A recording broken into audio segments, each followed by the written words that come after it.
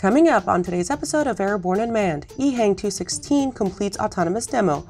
Also, Schiebel tests S100 UAV in Arctic North, and Czech eVTOL project begins crowdfunding. Welcome to Aero-News Network's Airborne Unmanned program, a weekly news program covering all things unmanned in partnership with AUVSI, the Association for Unmanned Vehicle Systems International. Hi, I'm your host, Kimberly Kay. EHang 216 completes autonomous demo.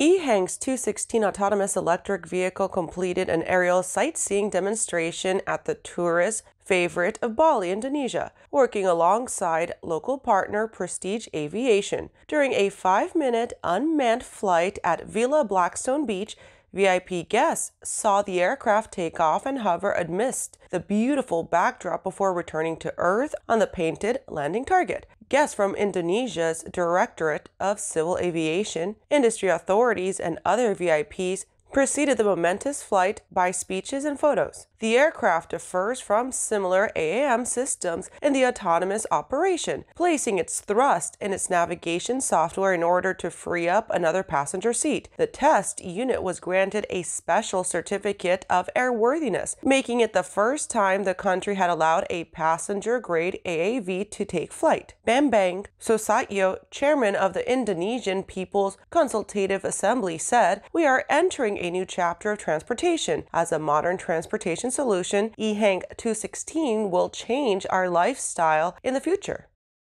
Coming up after these messages, NASA has begun its first test of anti asteroid defense measures. Those details after the break. Whether you're charting a steady course or pushing for the ceiling, Hartzell Propeller has been elevating flight for over 100 years.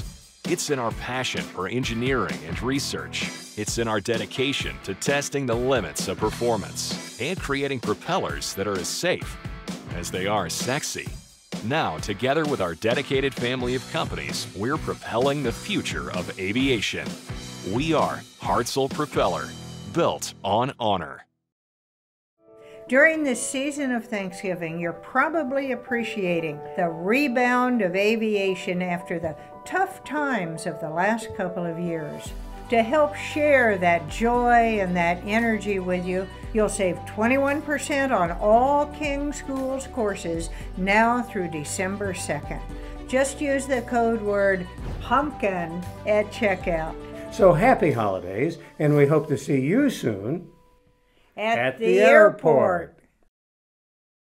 I believe that if people use the landing doctor training program, they will have less accidents and eventually their insurance will go down and they will make a superior pilot. We do personal limitation checklists, which is the most important reason you need to fly with limits. We do ground proximity awareness training, and we do this with a crosswind. We've been operating six Bristells for two years without one insurance claim.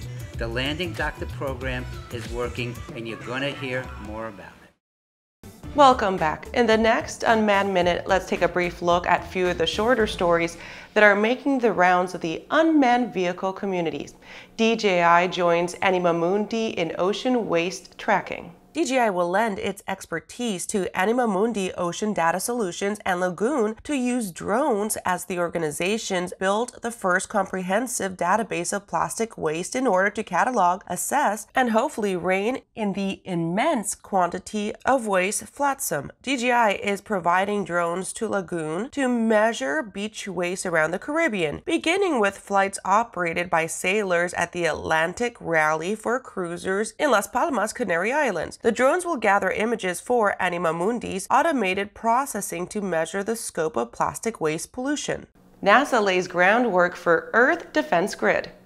NASA has begun its first test of anti-asteroid defense measures with a launch of the DART, or Double Asteroid Redirection Test designed to prevent the worst from coming to pass from extraplanetary bodies colliding with Earth. The system launched on November 24th aboard a SpaceX Falcon 9 from Space Launch Complex 4 east at California's Vandenberg Space Force Base. As part of NASA's future planetary defense strategy, the DART will impact a known non-life threatening asteroid to test its response.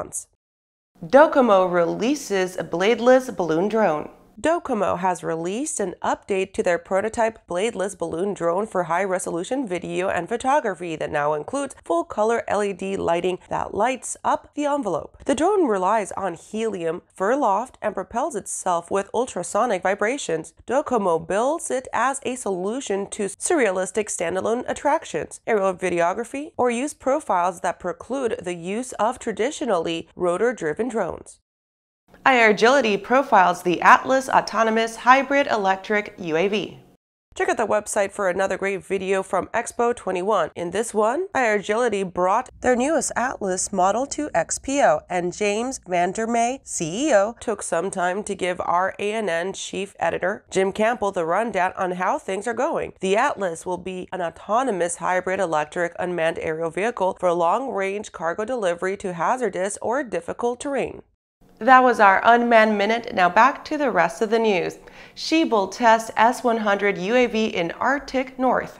Schiebel, working with Andøya Space Defense, recently completed a test of their Camcopter S-100's search and rescue capabilities in a week-long trial aboard the Norwegian Coast Guard's Nordkapp in the frigid northern waters above the 75th parallel. The unmanned aircraft was the focus of the week-long program through the Norwegian Ministry of Foreign Affairs Arctic 2030, designed to sustain Norwegian interests in the inhospitable far north. The UAV demonstrated the utility of similar aircraft for maritime surveillance as part of a greater network of local assets, allowing for a far greater situational awareness and survey capabilities compared to traditional manned patrol aircraft in the region. The Camcopter successfully operated throughout the voyage proving its capabilities in risky adverse weather conditions, which could ground manned rotary aircraft. The S-100 has logged extensive flight hours with more than 40 military customers worldwide. A sleek, long fuselage with a main and tail rotors like a traditional helicopter, the Evergreen S-100 has been proven in flight from minus 40 degrees Celsius to plus 55 degrees Celsius with altitudes up to 18,000 feet. Its full fuel 6 hour endurance and 75 pounds payload can be further extended for a long range and surveillance with external fuel tanks that bring the total endurance to 10 hours.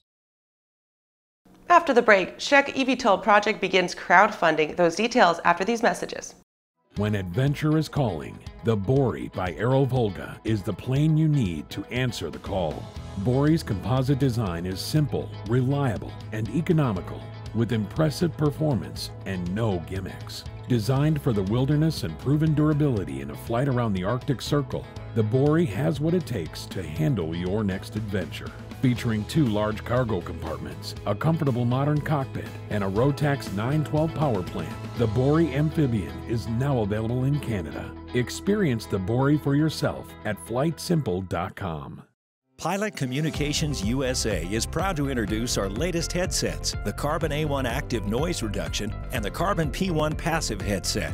Carbon fiber makes our headsets 30% lighter than others, which significantly reduces pilot fatigue. Our BlueLink hand control unit allows you to connect two devices at the same time, and the record out capability can send audio to an onboard camera or digital recorder. Get the headset that's so light you may forget you're wearing one at pilot-usa.com. The Zephyr is what you have always wanted. A highly capable two-seat turbine-powered helicopter with great ramp appeal, 100 mile per hour cruise speed, 172 nautical mile range, and to top it all off, a first-of-its-kind emergency airframe parachute system, the Curdy Design Zephyr. Unique, advanced, innovative, and highly capable. Your ultimate freedom machine is available now at zephyr.eu.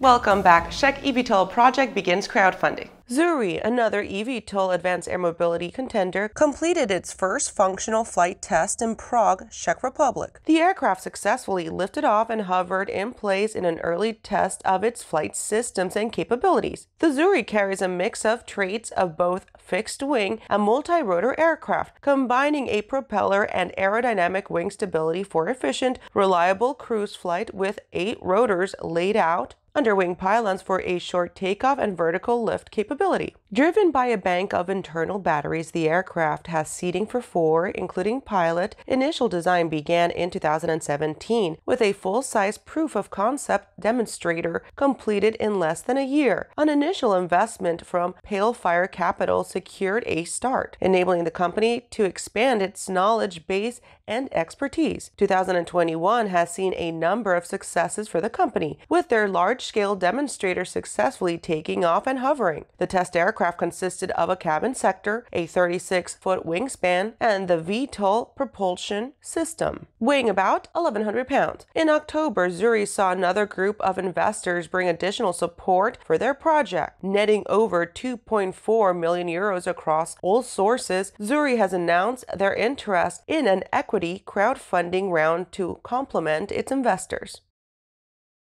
That does it for our show today. I'm your host, Kimberly Kay. You can catch episodes of Airborne on Roku and Fire TV.